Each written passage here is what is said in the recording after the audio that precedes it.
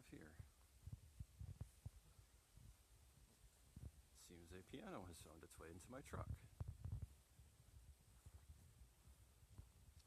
Along with my usual tools for the job. Weed whacker, lawnmower, carpentry tools, power tools. Pardon the camera.